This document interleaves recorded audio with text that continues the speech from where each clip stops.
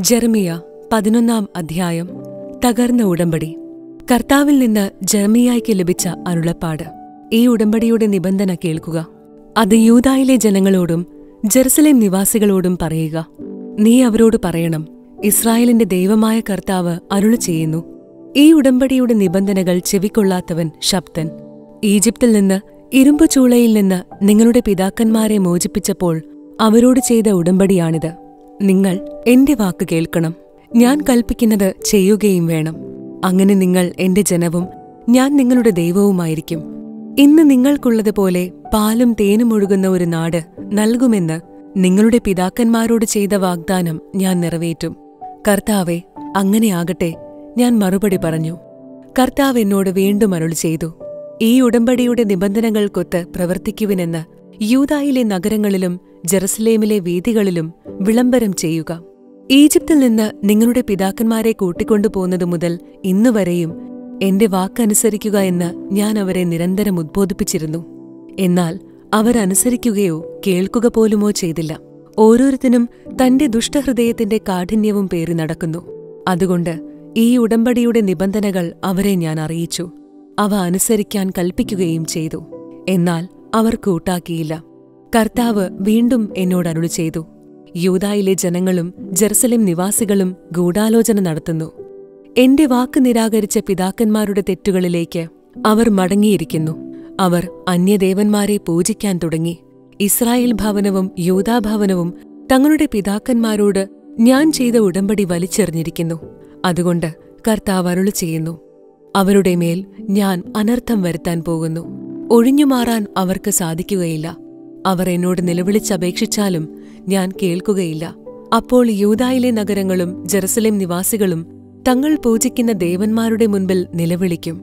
വിപത്സന്ധിയിൽ അവരെ രക്ഷിക്കാൻ അവർക്ക് കഴിയുകയില്ല. യൂത നിന്റെ നഗരങ്ങൾക്കൊപ്പം നിനക്ക് ദേവന്മാരും പെരുകിയിരിക്കുന്നു. മ്ലേച്ഛതയ്ക്ക് ബാൽ വിഗ്രഹത്തിന് ധൂപമർപ്പിക്കാൻ ജെറുസലേമിലെ വേദികൾക്കൊപ്പം ബലിപീഠങ്ങൾ ഒരുക്കിയിരിക്കുന്നു. അതുകൊണ്ട് നീ ഈ ജനതയ്ക്ക് വേണ്ടി പ്രാർത്ഥിക്കരുത്.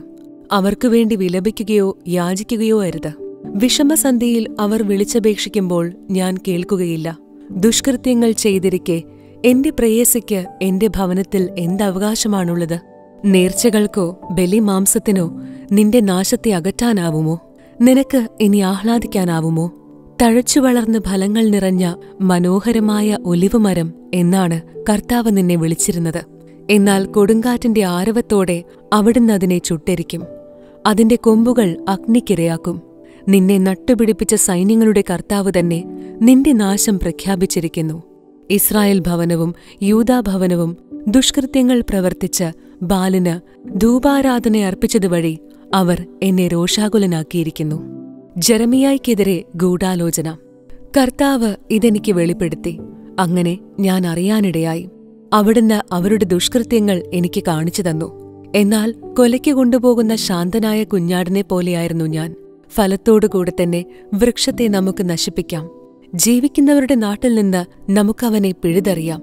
അവന്റെ പേര് ഇനിമേൽ ആരും ഓർമ്മിക്കരുതെന്ന് പറഞ്ഞ് അവർ ഗൂഢാലോചന നടത്തിയത് എനിക്കെതിരെയാണെന്ന് ഞാൻ അറിഞ്ഞില്ല. നീതിയായി വിധിക്കുന്നവനും ഹൃദയവും മനസ്സും പരിശോധിക്കുന്നവനുമായ സൈന്യങ്ങളുടെ കർത്താവെ അവരുടെ മേലുള്ള അങ്ങയുടെ പ്രതികാരം കാണാൻ എന്നെ അനുവദിക്കണമേ. അവിടുന്നാണല്ലോ എന്റെ ആശ്രയം. നിന്റെ ജീവൻ വേട്ടയാടുന്ന അനാഥോത്തിലെ ജനങ്ങളെക്കുറിച്ച് കർത്താവ് അരുളി ചെയ്യുന്നു. കർത്താവിന്റെ നാമത്തിൽ നീ പ്രവചിക്കരുത്. പ്രവചിച്ചാൽ നിന്നെ ഞങ്ങൾ കൊല്ലും എന്നവർ പറയുന്നു.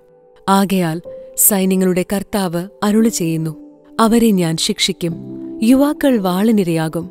അവരുടെ പുത്രന്മാരും പുത്രികളും പട്ടിണി കിടന്നു മരിക്കും. അവരിൽ ആരും അവശേഷിക്കുകയില്ല. അനാഥോത്തിലെ ജനങ്ങളോട് കണക്ക് ചോദിക്കുന്ന ആണ്ടിൽ ഞാൻ അവരുടെ മേൽ തിന്മ വർഷിക്കും. ജെറമിയ പന്ത്രണ്ടാം അധ്യായം ദുഷ്ടന്റെ ഐശ്വര്യം. കർത്താവെ ഞാൻ അങ്ങയോട് പരാതിപ്പെടുമ്പോൾ അവിടുന്ന് തന്നെയായിരിക്കും നീതിമാൻ. എങ്കിലും എന്റെ പരാതി അങ്ങയുടെ മുൻപിൽ ഞാൻ സമർപ്പിക്കുകയാണ്. എന്തുകൊണ്ടാണ് ദുഷ്ടൻ അഭിവൃദ്ധി പ്രാപിക്കുന്നത്? ചതിയന്മാർ ഐശ്വര്യം നേടുന്നത് എന്തുകൊണ്ട്? അങ്ങവരെ നടുന്നു. അവർ വേരുപിടിച്ച് വളർന്ന് ഫലം പുറപ്പെടുവിക്കുന്നു. അവരുടെ നാവിൽ എപ്പോഴും അവിടുന്നുണ്ട്. ഹൃദയത്തിലാകട്ടെ അങ്ങേക്ക് സ്ഥാനമില്ല. കർത്താവെ അങ്ങെന്നെ അറിയുന്നു കാണുന്നു. എന്റെ മനസ്സ് അങ്ങിലാണെന്ന് പരിശോധിച്ചറിയുകയും ചെയ്യുന്നു. കൊല്ലാനുള്ള ആടുകളെ പോലെ അവരെ വലിച്ചിറക്കണമേ. കൊലയുടെ ദിവസത്തേക്ക് അവരെ മാറ്റി നിർത്തണമേ. എത്ര നാൾ ദേശം വിലപിക്കുകയും വയലിലെ പുല്ല് വാടുകയും ചെയ്യണം. ദേശവാസികളുടെ ദുഷ്ടത നിമിത്തം മൃഗങ്ങളും പക്ഷികളും ചത്തുപോകുന്നു. ഞങ്ങളുടെ പ്രവൃത്തികൾ ദൈവം കാണുന്നില്ല എന്ന് അവർ പറയുന്നു. മനുഷ്യരോട് മത്സരിച്ചോടി നീ തളർന്നെങ്കിൽ കുതിരകളോട് എങ്ങനെ മത്സരിക്കും? സുരക്ഷിത സ്ഥാനത്ത് കാലിടറുന്നെങ്കിൽ ജോർദാൻ വനങ്ങളിൽ നീ എന്ത് ചെയ്യും? നിന്റെ സഹോദരന്മാരും പിതൃഭവനം പോലും നിന്നോട് വഞ്ചന കാട്ടിയിരിക്കുന്നു. പിന്നിൽ നിന്ന് അവർ നിനക്കെതിരായി സംസാരിക്കുന്നു. മധുരവാക്കു പറഞ്ഞാലും നീ അവരെ വിശ്വസിക്കരുത്. പരിത്യക്തമായ ദേശം. എന്റെ ഭവനം എന്നെ ഉപേക്ഷിച്ചിരിക്കുന്നു. എന്റെ അവകാശം കൈവെടിഞ്ഞിരിക്കുന്നു. എന്റെ പ്രാണപ്രിയയെ അവളുടെ ശത്രുക്കൾക്ക് ഞാൻ ഏൽപ്പിച്ചു കൊടുത്തിരിക്കുന്നു. എനിക്ക് അവകാശമായവൾ കാട്ടിലെ സിംഹം പോലെ എന്നോട് പെരുമാറുന്നു. എനിക്കെതിരെ ഗർജിച്ചതുകൊണ്ട് ഞാൻ അവളെ വെറുക്കുന്നു. കഴുകന്മാർ ചുറ്റി വളഞ്ഞാക്രമിക്കുന്ന ഒരു പുള്ളിപ്പക്ഷിയാണോ എന്റെ ജനം? വന്യമൃഗങ്ങളെ അവരെ വിഴുങ്ങാൻ ഒരുമിച്ചു കൂടുവൻ. അനേകം ഇടയന്മാർ കൂടി എന്റെ മുന്തിരിത്തോട്ടം നശിപ്പിച്ചിരിക്കുന്നു. എന്റെ ഓഹരി അവർ ചവിട്ടി മെതിച്ചു. എന്റെ മനോഹരമായ അവകാശം അവർ ശൂന്യമായ മരുഭൂമിയാക്കിയിരിക്കുന്നു. അവർ അതിനെ ശൂന്യമാക്കി ശൂന്യാവസ്ഥയിൽ അത് എന്നോട് വിലപിക്കുന്നു. ദേശം മുഴുവൻ പരിത്യക്താവസ്ഥയിലാണ്. ഒരാൾ പോലും ഇക്കാര്യം ചിന്തിക്കുന്നില്ല. മരുഭൂമിയിലെ മൊട്ടക്കുന്നുകളിലെല്ലാം വിനാശകർ സ്ഥാനം പിടിച്ചിട്ടുണ്ട്. ദേശത്തിന്റെ ഒരറ്റം മുതൽ മറ്റേ അറ്റം വരെ കർത്താവിന്റെ വാൾ മരണം വിതയ്ക്കുന്നു. ഒരു ജീവിക്കും സമാധാനമില്ല. അവർ ധാന്യം വിതച്ചു മുള്ളു കൊയ്തു കഠിനാധ്വാനം ചെയ്തു ഫലമൊന്നുമുണ്ടായില്ല. കർത്താവിന്റെ ഉഗ്രകോപം നിമിത്തം അവർ തങ്ങളുടെ വിളവിനെക്കുറിച്ച് ലജ്ജിക്കും. എന്റെ ജനമായ ഇസ്രായേലിന് ഞാൻ നൽകിയ അവകാശത്തിന്മേൽ കൈവയ്ക്കുന്ന ദുഷ്ടന്മാരായ എല്ലാ അയൽക്കാരോടും കർത്താവ് അരുളി ചെയ്യുന്നു. അവരെ തങ്ങളുടെ ദേശത്തു നിന്ന് ഞാൻ പിഴുതെറിയും. അവരുടെ കയ്യിൽ നിന്ന് യൂതാഭവനത്തെ ഞാൻ പറിച്ചെടുക്കും. അവരെ പിഴുതെടുത്തതിനു ശേഷം ഞാൻ അവരോട് കരുണ കാണിക്കും. ഓരോ ജനതയെയും അതതിന്റെ അവകാശത്തിലേക്കും ദേശത്തേക്കും ഞാൻ തിരികെ കൊണ്ടുവരും.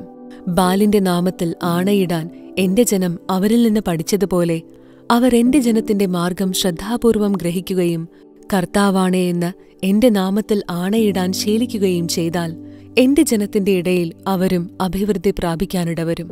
എന്നാൽ ഏതെങ്കിലും ജനത എന്നെ അനുസരിക്കുന്നില്ലെങ്കിൽ അതിനെ ഞാൻ വേരോടെ പിഴുത് നശിപ്പിക്കും. കർത്താവ് അരുൾ ചെയ്യുന്നു. ജെറമിയ പതിമൂന്നാം അധ്യായം. അരക്കച്ചയും തോൽക്കുടവും.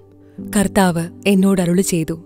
നീ പോയി ഒരു ചണവസ്ത്രം വാങ്ങിക്കൊണ്ടുവന്ന് അരയിൽ ചുറ്റുക. അത് വെള്ളത്തിൽ മുക്കരുത്. കർത്താവിന്റെ വാക്കനുസരിച്ച് ഞാൻ ഒരു ചണവസ്ത്രം വാങ്ങിയുടുത്തു. കർത്താവ് വീണ്ടും എന്നോട് അരുൾ ചെയ്തു. നീ വാങ്ങിയുടുത്ത വസ്ത്രം യൂഫ്രട്ടീസ് തീരത്ത് കൊണ്ടുപോയി അവിടെ ഒരു പാറയിടുക്കിൽ ഒളിച്ചുവെക്കുക കർത്താവ് കൽപ്പിച്ചതനുസരിച്ച് ഞാൻ അത് യൂഫ്രട്ടീസിന്റെ തീരത്ത് ഒളിച്ചുവെച്ചു. അനേക ദിവസങ്ങൾക്ക് ശേഷം കർത്താവ് എന്നോട് അരുളി ചെയ്തു നീ യൂഫ്രട്ടീസ് തീരത്ത് ചെന്ന് എന്റെ കൽപ്പന പ്രകാരം ഒളിച്ചുവെച്ചിരിക്കുന്ന അരക്കച്ച അവിടെ നിന്നെടുക്കുക ഞാൻ അവിടെ ചെന്ന് അരക്കച്ച ഒളിച്ചുവെച്ചിരുന്ന സ്ഥലം കുഴിച്ച് അത് പുറത്തെടുത്തു. ആ വസ്ത്രം ഒന്നിനും കൊള്ളാത്ത വിധം ജീർണിച്ചു പോയിരുന്നു. അപ്പോൾ എനിക്ക് കർത്താവിന്റെ അരുളപ്പാടുണ്ടായി. കർത്താവ് അരുളി ചെയ്യുന്നു യൂതായുടെ അഹങ്കാരത്തെയും ജെറുസലേമിന്റെ ഔദ്യത്യത്തെയും ഞാൻ ഇതേവിധം നശിപ്പിക്കും. എന്റെ വാക്കു കേൾക്കാതെ തന്നിഷ്ടപ്രകാരം നടക്കുകയും അന്യദേവന്മാരുടെ പിറകെ പോയി അവരെ സേവിക്കുകയും ആരാധിക്കുകയും ചെയ്ത് ഈ ദുഷ്ടജനത ഒന്നിനും കൊള്ളാത്ത ഈ അരക്കച്ച പോലെയായിത്തീരും. അരക്കച്ച അരയോട് ചേർന്നിരിക്കുന്നത് പോലെ ഇസ്രായേൽ ഭവനവും യൂതാഭവനവും എന്നോട് ചേർന്നിരിക്കണമെന്ന് ഞാൻ ആഗ്രഹിച്ചു. ഇത് അവർ എന്റെ ജനവും കീർത്തിയും അഭിമാനവും മഹത്വവുമായി നിലകൊള്ളേണ്ടതിനായിരുന്നു. എന്നാൽ അവരത് കൂട്ടാക്കിയില്ല. കർത്താവ് അരുളു ചെയ്യുന്നു. നീ അവരോട് പറയണം. ഇസ്രായേലിന്റെ ദൈവമായ കർത്താവ് അരുളു ചെയ്യുന്നു. എല്ലാ ഭരണികളിലും വീഞ്ഞു നിറയ്ക്കും. അവർ നിന്നോട് ചോദിക്കും എല്ലാ ഭരണികളിലും വീഞ്ഞു നിറയ്ക്കുമെന്ന് ഞങ്ങൾക്ക് നന്നായി അറിയാവുന്നതല്ലേ? അപ്പോൾ നീ അവരോട് പറയണം. കർത്താവ് അരുളു ചെയ്യുന്നു. ഈ ദേശവാസികളെ ദാവീദിന്റെ സിംഹാസനത്തിലിരിക്കുന്ന രാജാക്കന്മാരെയും പുരോഹിതന്മാരെയും പ്രവാചകന്മാരെയും ജെറുസലേം നിവാസികളെയും ഞാൻ ലഹരി കൊണ്ട് നിറയ്ക്കും. എന്നിട്ട് ഞാൻ ഒരുവനെയെടുത്ത് മറ്റൊരുവന്റെ മേലടിക്കും പിതാക്കന്മാരെയും മക്കളെയും ഒന്നുപോലെ. ഞാൻ ആരോടും കരുണ കാണിക്കുകയില്ല. ഒരുവനെയും വെറുതെ വിടുകയില്ല. എല്ലാവരെയും നിർദ്ദയം നശിപ്പിക്കും. കർത്താവ് അരുളി ചെയ്യുന്നു. ജെറുസലേമിന് മുന്നറിയിപ്പ്. നിങ്ങൾ കാതോർത്തു കേൾക്കുവിൻ. അഹങ്കരിക്കരുത്. കർത്താവാണ് അരുളി ചെയ്തിരിക്കുന്നത്.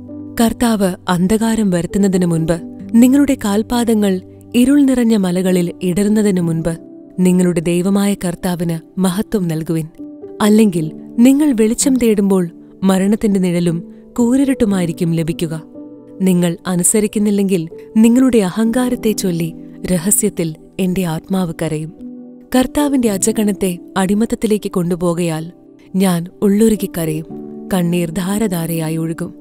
രാജാവിനോടും രാജമാതാവിനോടും പറയുക സിംഹാസനത്തിൽ നിന്ന് താഴെ ഇറങ്ങുക. നിങ്ങളുടെ മഹത്തായ കിരീടം നിങ്ങളുടെ ശിരസിൽ നിന്ന് താഴെ വീണിരിക്കുന്നു. നെഗബിൽ നഗരങ്ങൾ ഉപരോധിക്കപ്പെട്ടിരിക്കുന്നു. രക്ഷിക്കാൻ ആരുമില്ല. യൂത നാട് കടത്തപ്പെടുന്നു. സകലരെയും അടിമകളായി കൊണ്ടുപോകുന്നു. നീ കണ്ണുകൾ ഉയർത്തി വടക്കുനിന്ന് വരുന്നവരെ കാണുക. നിന്നെ ഭരമേൽപ്പിച്ചിരിക്കുന്ന ആട്ടിൻപറ്റം നിന്റെ മനോഹരമായ അജഗണം എവിടെ? സുഹൃത്തുക്കൾ എന്ന് കരുതിയിരുന്നവർ നിന്നെ തോൽപ്പിച്ച് നിന്റെ മേൽ ഭരണം നടത്തുമ്പോൾ നീ എന്തു പറയും? ഈറ്റുനോവെടുത്തവളെ പോലെ നീ വേദനയാൽ പുളയുകയില്ലേ? എനിക്ക് എന്തുകൊണ്ട് ഇങ്ങനെ വന്നുവെന്ന് നീ ആത്മഗതം ചെയ്യുന്നുണ്ടാവാം. നിന്റെ തിന്മകളുടെ ആധിക്യം നിമിത്തമാണ് അവർ വസ്ത്രമുരിഞ്ഞ് നിന്നെ ബലാത്കാരം ചെയ്തത്. എത്യോപ്യക്കാരന് തന്റെ തൊലിയോ പുള്ളിപ്പുലിക്ക് തന്റെ പുള്ളിയോ മാറ്റാനാകുമോ? എങ്കിൽ തിന്മ ചെയ്ത് ശീലിച്ച നിനക്ക് നന്മ ചെയ്യാനാകും. മരുഭൂമിയിൽ നിന്ന് വീശുന്ന കാറ്റിൽ പതിരുന്ന പോലെ നിങ്ങളെ ഞാൻ ചിതറിക്കും. നിനക്കായി ഞാൻ അളന്നുവച്ചിരിക്കുന്ന ഓഹരി ഇതാണ്. എന്തെന്നാൽ നീ എന്നെ മറക്കുകയും നുണകളിൽ വിശ്വസിക്കുകയും ചെയ്തു. കർത്താവ് അരുളി ചെയ്യുന്നു. ഞാൻ തന്നെ നിന്റെ ഉടുതുണി ഉരിഞ്ഞുമാറ്റും നിന്റെ നഗ്നത വെളിവാക്കപ്പെടും. നിന്റെ മ്ലേച്ഛതകളും വ്യഭിചാരങ്ങളും വിഷയാസക്തിയുടെ സീൽക്കാരവും കാമാന്തമായ വേശ്യാവൃത്തികളും നാട്ടിൻപുറത്തും മലകളിലും ഞാൻ കണ്ടു. ജെറുസലേമേ നിനക്ക് ദുരിതം. എന്നാണ് നീ ശുദ്ധയാവുക.